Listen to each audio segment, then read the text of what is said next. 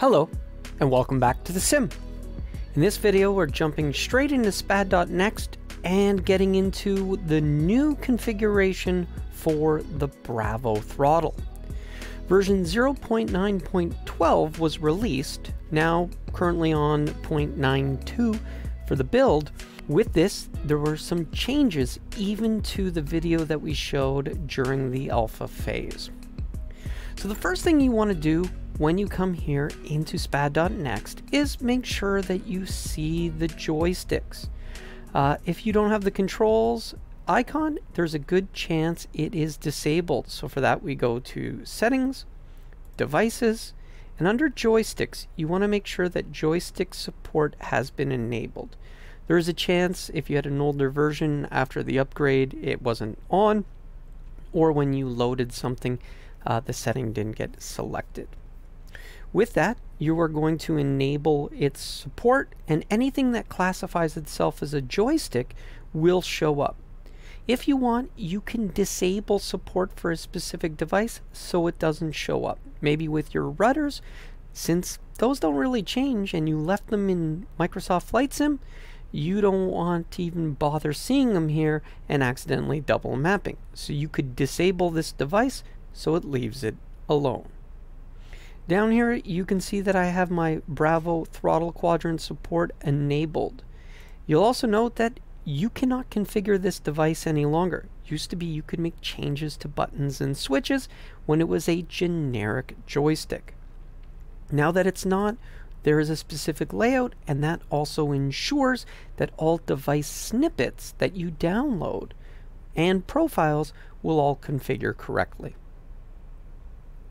Okay, now that you've done this, if it wasn't set, make sure to close the application, closing the X, and restarting it. That way when it comes up, we'll have the controls available to us.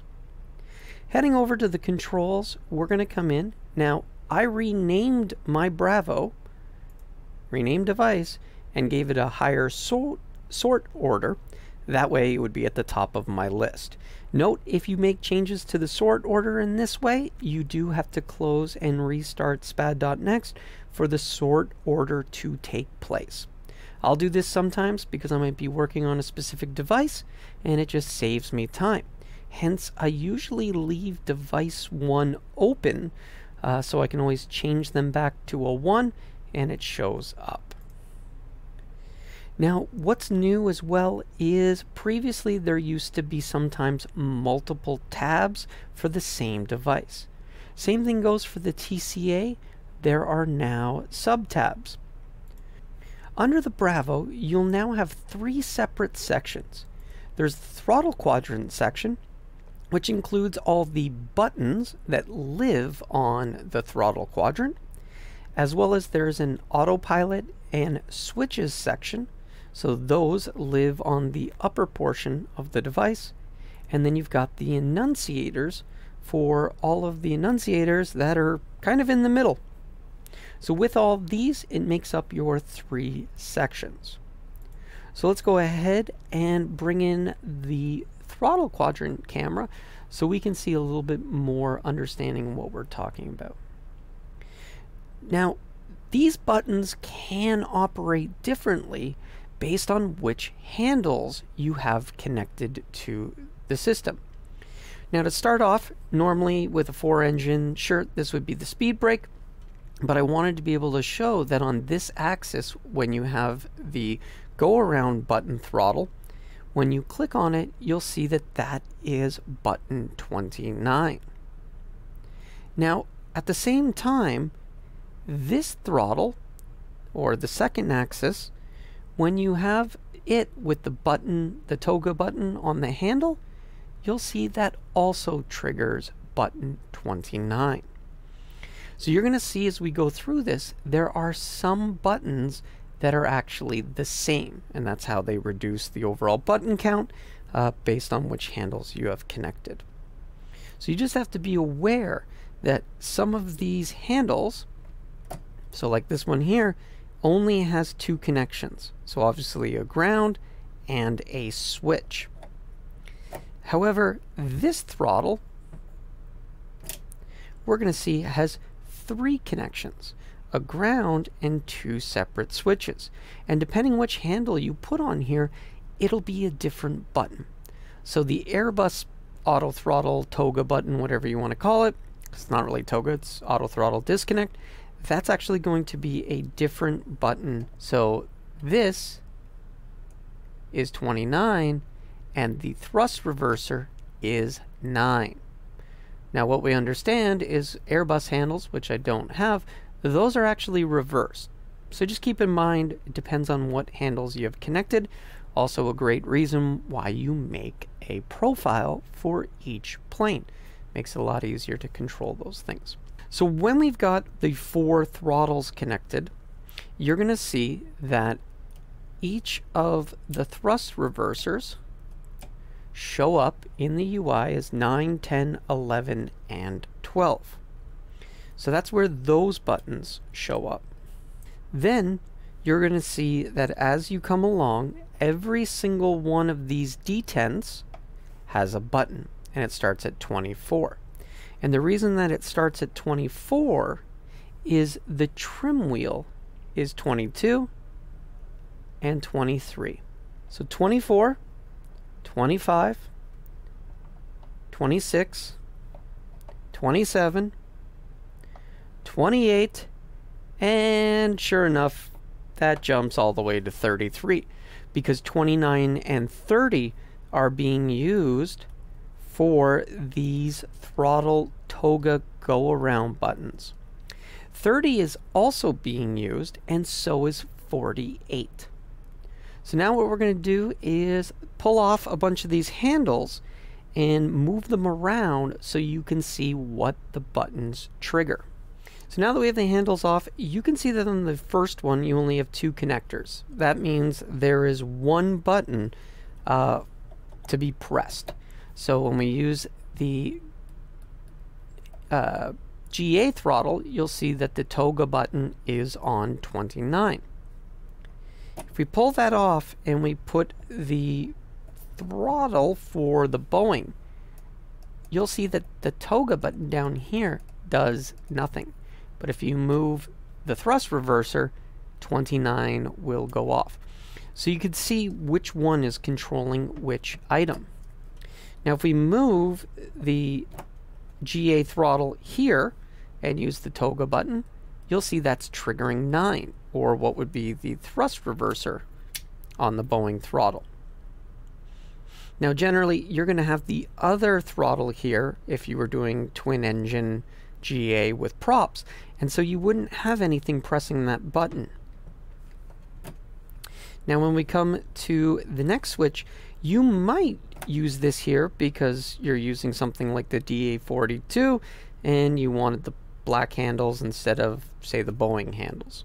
You'll notice here that that is going to trigger button 10. So basically the GA throttle control button is connecting to the top switch which on each of these placements 11 and this one is triggering 12. So as you can see, controlling any and all of throttle reversers.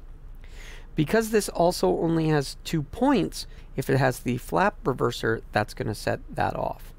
You'll notice where the flap or the final detent furthest to the right, there are no contacts, so there are no button placements there. If we were to have this on the second one, where we saw it before, course number 9 and number 29, which is shared here and here. Then we come here, obviously that's going to be 10, and now you get button 30. So 29 is the button for the first two. 30 goes to this one. If we move this over by one, you'll see button 48. So if you have a second handle and the rightmost button here, that is going to trigger 48. And then of course when we come over to this position, that button will do nothing because only number 12, which is the throttle reverser, is available. So hopefully that explains how all those buttons work and where they all show up. Uh, and I agree, it is funny that button 33 uh, is here as opposed to them just keeping it sequential and moving 29, 30 uh, off to the right hand side. So let's go ahead and move on to the next section, the autopilot and switches. So as you can see from the top, you can click on the separate sub tab.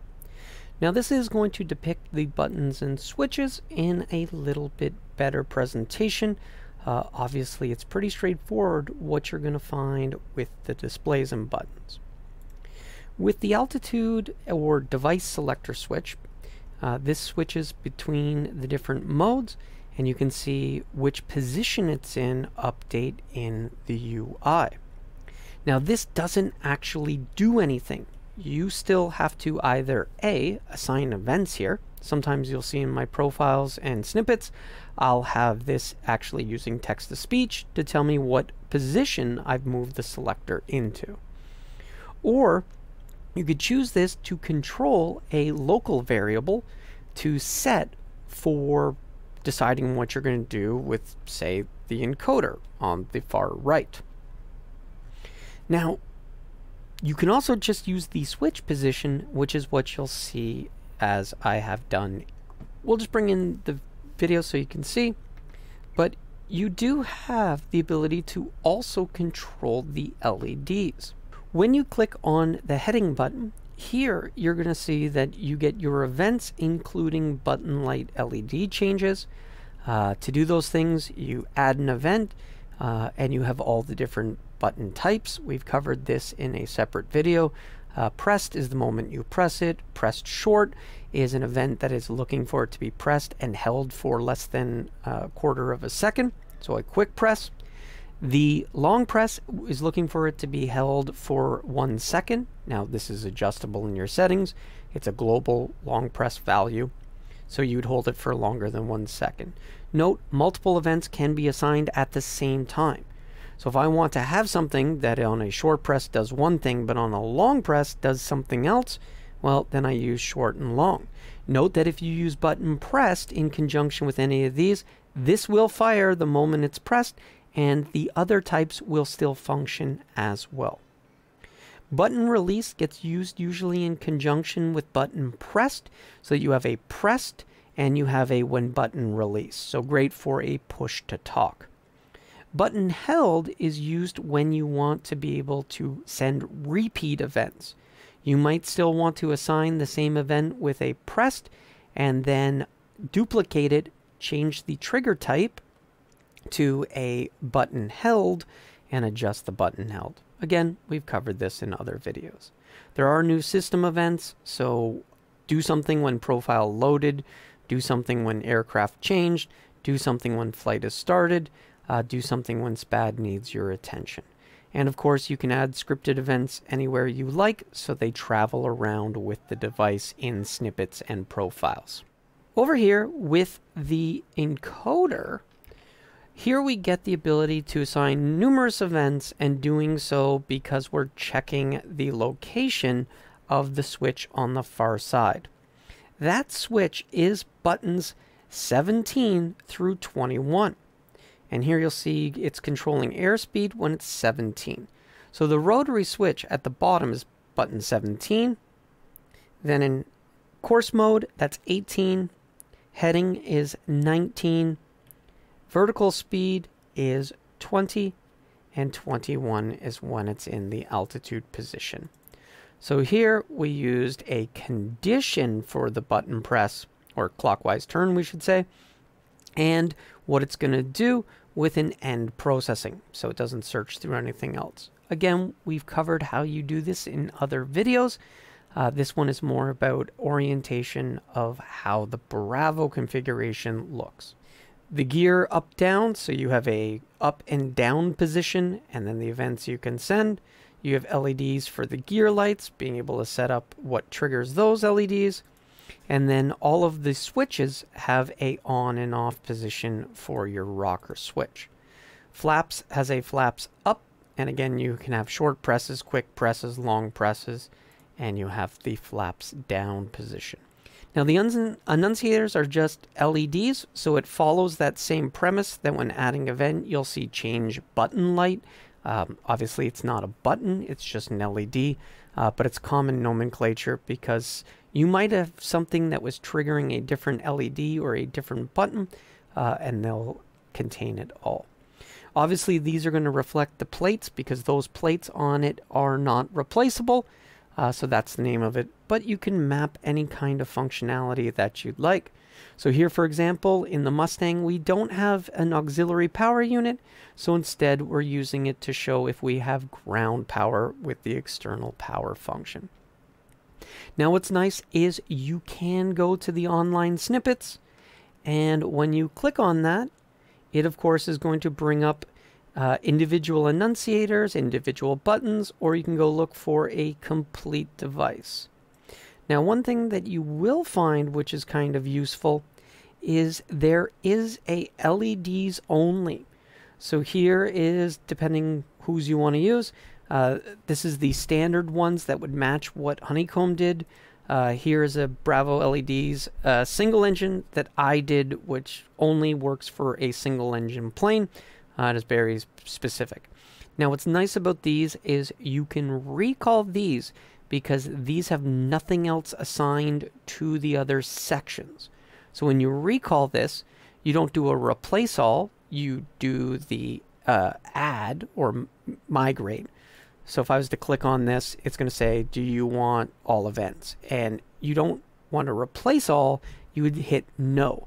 And no would add these to your existing assignments and therefore leave all your other buttons and switches alone and then add these here. Obviously, if you use somebody else's profile, which does, or snippet, which does have other buttons and switches, you could still hit no. You're just going to have to then go back to all those buttons and maybe delete events that you didn't program to them. Okay, well, that's going to do it for this one. I hope it explains what we've been doing with the Bravo and how you can go ahead and set it up now that we've got 9.0 or sorry 0.9.12 official release.